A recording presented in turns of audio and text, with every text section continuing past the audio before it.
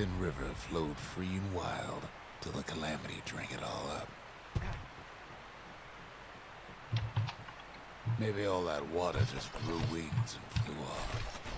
Čau lidi, vítám vás, já Dumista, vítám vás u novoročního, no úplně ne novoročního, pár dnů potom, Let's Play na hru Bastion, kterou vydali Super Giant Games, produkovali jim to Warner Brosáci, což je zajímavý, protože Super Gianti jsou uh, tento nonc nezávislí, ale to nevadí, tohle je úplně parádní hra, Můžete si všimnout, že to je izometrický a můžete si všimnout, že tady sekám jako Magor, takže to pravděpodobně bude celkem akční hra.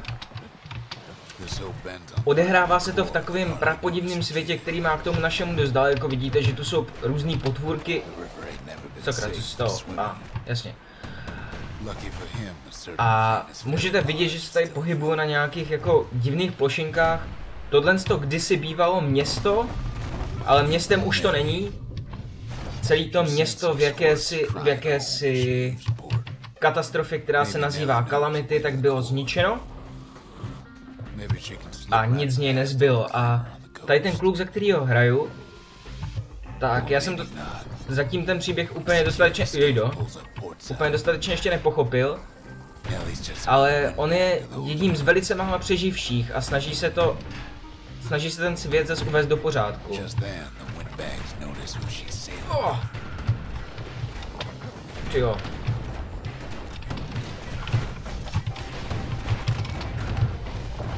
Wow, tak teď jsem teda dostal trošku přes držku.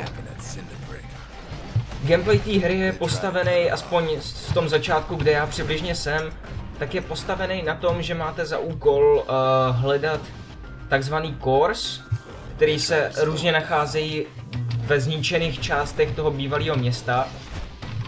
Jda, ne. Falls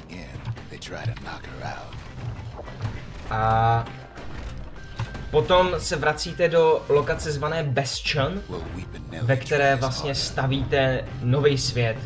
To stavění je hodně omezený, člověk tam má jenom minimum jakýchkoliv možností, jak stavět. Tak fajn, tahle jízda je u konce. Zatím jsem, zatím jsem tam jako neobjevil nějakou, nějakou další zásadní mechaniku. Uh,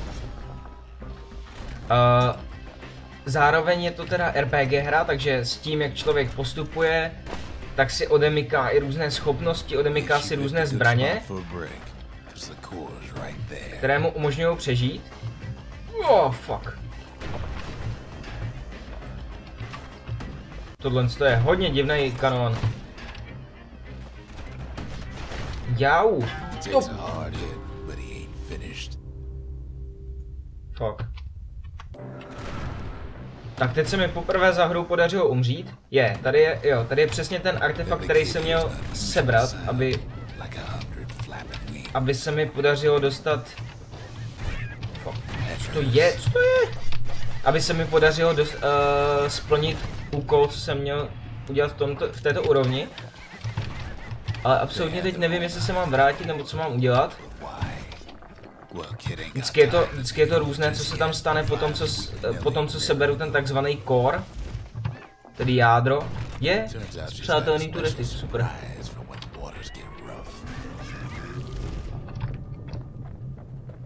Že by to byla tak rychlá mise, nebo ještě něco bude, nebo to ještě bude tak nějak pokračovat. Chápu, že ty moje komentáře jsou teď trošku zmatený, protože jsem si blbec nasadil obě sluchátka za ráz. Potom se nikdy nedokážu pořádně soustředit na komentování, už jsem to teď napravil. Tahle ta hra byla svého času velice slavná, myslím, že se dá sehnat na Go... Určitě se dá sehnat na Gogu, nevím, jestli se dá sehnat jinde. Byla slavná ze dvou věcí. Můžete si všimnout, že toho, jak tady hraju, tak tady furt jezdí titulky a někdo mluví na pozadí.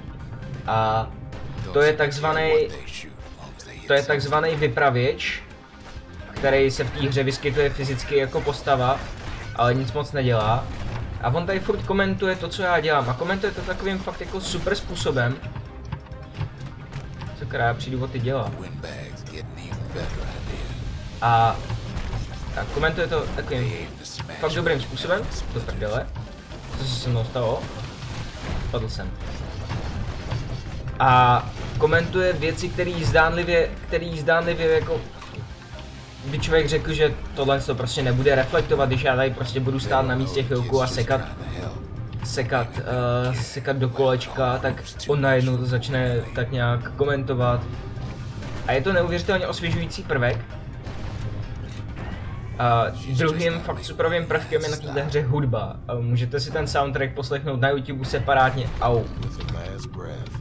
A budete se divit, jak je skvělý a poslouchatelný i sám o sobě. Čili tady ten pták je vychytaný.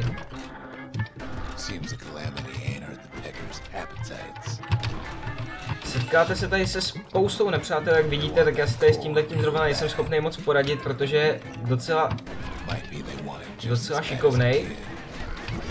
Jau, já budu mrtvý zase.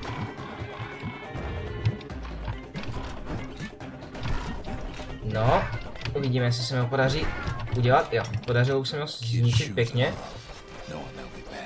Můžete si všimnout, že u sebe nosím tak jako dvě zbraně a jeden štít. Takhle, jejda. Uh, v podstatě můžu do, na postavu nandat libovolné dvě zbraně. Já mám nastavenou jako primární mačetu, kterou můžu i házet. Ale můžu mít stejně tak třeba kladivo nebo luk. Na, druhé, na, na druhém tlačítku myši mám nastavenou momentálně brokovnici, ale můžu si tam nastavit jako třeba, já nevím, kulomet, když ho budu mít, jakože ho mám. A na kvéčku mám nastavenou speciální, uh, speciální schopnost, v tomto případě tu speciální schopností uh, položení miny, která za chvilku vybuch, vybuchne. Ale těch schopností je tam tuna, některé jsou vázané na ty zbraně, které člověk u sebe drží. Stejně tak existují různé boosty, boosty na postavu. A koukám, že tahle ta úroveň je překvapivě dlouhá, protože většinou to jsou návštěvy na pár minut, uh, že člověk sebere kor a rychle vypadne, ale v tomto případě to asi nemá být tak jednoduché. Je tady další zpřátelená postava. Přátelé nepoznáte tím, že, že mají nad sebou srdíčko. Náhodně se tam občas vyskytnou nějací, nějací zpřátelení kamarádi. Tak, most tady. Vidíte, že přede mnou se ta cesta občas takhle prostě najednou z ničeho nic uh, staví. Úplně netuším, v tom, ne, nepochopil jsem v příběhu proč, asi je to jenom na efekt. Další důvod, proč, proč tahle hra byla tak jako oblíbená, že měla zajímavou grafiku. O, o, o. And that's why you go to Prosper Bluff, ain't it? Co to bylo? Bažina? Jdem si objít ptáčky. Hm. Nesmím už moc padat. Když se mi podařilo jednou pofailit tu lokaci, tak už pak ji můžu pofailit jenom jednou a pak bych musel restartovat od začátku, což nechci. Tady už to asi dál nejde. Musím vyzkoušet jinou cestu. Ty dveře se nechcou otevřít. Hm, au. Na ty kytky si musím dávat bacha. A, ah, tady se, tady je cesta. Skybridge, switch. Sakra. Aha, tak to mě je vy, vyřešené pěkně, abych se nemusel vracet tou samou lokací. Je, yeah, to je ta parádní písnička na pozadí. Asi nejlepší písnička z celé hry. Yeah, that's the one. Tak, fajn. Pták umřel. Tady nic není zase? Nic tu není. Tak půjdu za zvukem hudby, protože ta znamená přátelé, náhodné přeživší, který v tomhle světě přežili.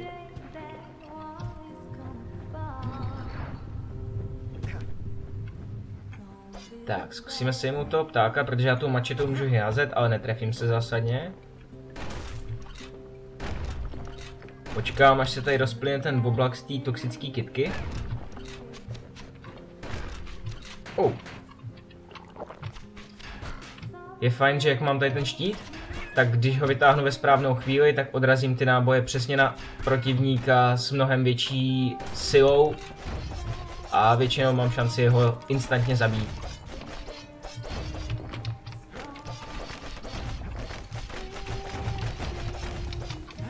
Přičemž asi bych mohl zmínit, že vývojáři téhle hry vytvořili ještě jednu celkem zajímavou hru, o které se mluví, tu jsem bohužel neměl možnost hrát.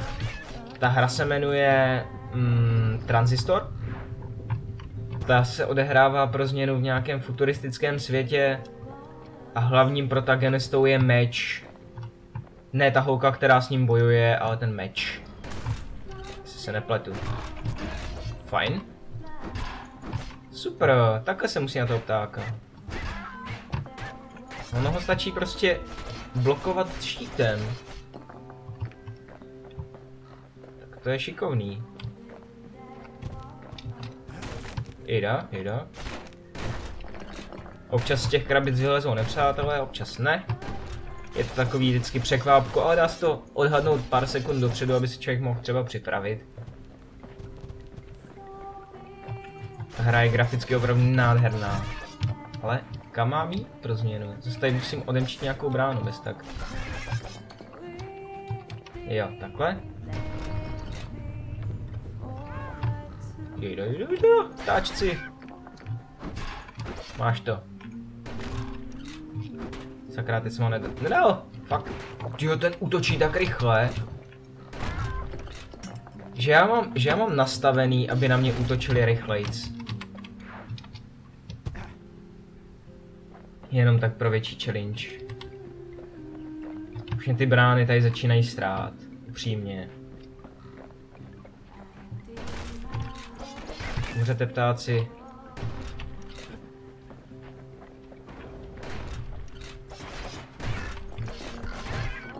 Tak, tady to vypadá, že nic není. Tam je most někam dál, ok, tam nejdu. Co je tady? Tady je tlačítko. Tam... Tam taky nejdu. Já prvně chci proskoumat tam, kde nejsou tlačítka. Vzhledem k tomu, že tohle je první díl, který vydám po novém roce, ještě je to komplikovaný, tak bla bla bla, co jsem chtěl říct vlastně, tak bych mohl říct, co vás čeká. Uh, avizoval jsem tam v tom posledním videu před Vánocema, že budou nějaký Sword of the Stars The Pit, že bude nějaký Doom roguelike, uvidíme jak se mi budou líbit ty sestříhaný videa. Je zmatený, to jsem mohl jít rovnou. A určitě bude long play na hru Prey, protože jsem si na ní najednou vzpomněl, rozehrál jsem ji a zjistil jsem, že to je fakt fajnová hra, kterou si určitě chci zahrát znova. Oh! Shit. Umři ptáku. Takže se můžete těšit na longplay ze hry Prey a až po ní budou nějaké třeba longplay zase z Duma. Protože prvně chci udělat to Preyko. Což mimochodem je na stejném engineu jako byl udělaný Doom 3. Jenom to má spoustu takových zábavnějších a zajímavějších feature, ačkoliv Doom 3 vůbec nebyla špatná hra. Doom 3 mám taky rád. Kde už je konec téhle lokace? No, tady ještě něco dole. Umři ptáku. Jo, jo, jo. Oh. Bacha na ptáky. Jsou nebezpeční, už Hitchcock to věděl. Tak, proběhneme, proběhneme, proběhneme. no Nedostaneš mě. Hm, a já ho taky ne. Fuck. Je, tady je knížka nějaká. Suffice it to say, kid ain't coming home empty-handed. Je fa- uh, různě takhle po té hře člověk i sbírá, uh, sbírá, sbírá artefakty. Teď jsem sebral jeden a teď je tady tahle holka, která hraje tu skladbu. Další přeživší. They'll be here before too long. A viděl bych to na to, že je konec úrovně. Takže vám asi ještě, jo, je konec úrovně, tak uvidíte Bastion, jak vypadá. We darn near celebrated when the kid got back, didn't we? Zolf never thought he'd see a fellow her again. We become fast friends. Calamity has that effect on people. But there was more to be done. There was one last core to find. Tak, jsem zpátky v Bastion. Můžete vidět, že už mám celkem velikánské městečko postavené. Sebral jsem kor, takže ho můžu tady zasadit ve středu města do, do monumentu.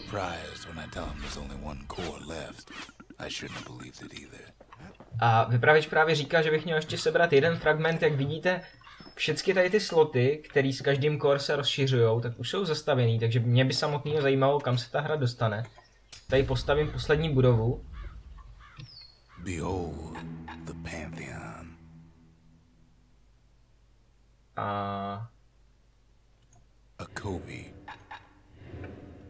já si tady, já si tady můžu nastavit různé bonusy, které mě znevýhodňují a zvýhodňují nepřátele, ale já pak za to dostávám bonusy. Jsou tady různě ti přeživší, tady můžu si s nima pokecat o různých itemech, co mám u sebe, u sebe v inventáři, ale není to nic důležitého. Tady můžu plnit různý, různý challenges a dostávat za ně měnu. Už, koní nemůžu oběhnout. Tady si můžu kupovat různý, různý třeba schopnosti, které pak budu mít pod kvéčkem a se kterými budu likvidovat nepřátele s nás. V tomhle místě s každým levelem, který si odemknu, tak si můžu nasadit nějaký, nějakou, nějaký pasivní buff. Hmm.